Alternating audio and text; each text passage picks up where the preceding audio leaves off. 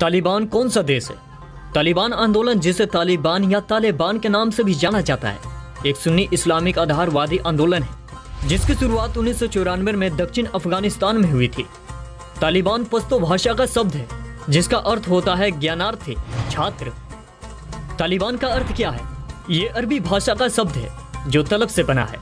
तलब का मतलब होता है किसी चीज़ को हासिल करने की इच्छा, चाहना, पाना, ख्वाहिश करना।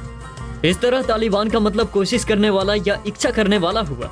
नब्बे के दशक में जब अफ़गानिस्तान लड़ाई का दंश झड़ रहा था, तब ये तालिबान का जन्म हुआ। तालिबान किस देश का हिस्सा है? वाशिंगटन ने तालिबान से लड़ने के लिए अफ़गानिस्तान में अरबों डॉलर का निवेश किया।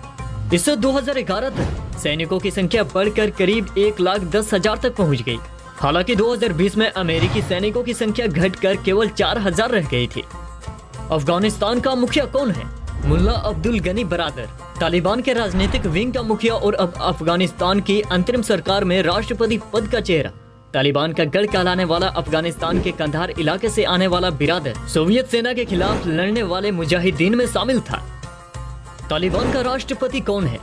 अशरफ गनी के हटने और सत्ता परिवर्तन के बाद, तालिबान की तरफ़ से अब मौलाना अब्दुल गनी बरादर को राष्ट्रपति बनाया जा सकता है। ऐसे और भी रोचक जानकारी के लिए हमारे YouTube चैनल को सब्सक्राइब करें और दबाए बेल आइकन को हमारे वीडियोस का नोटिफिकेशन सबसे पहले पाने के लिए। धन्यवाद।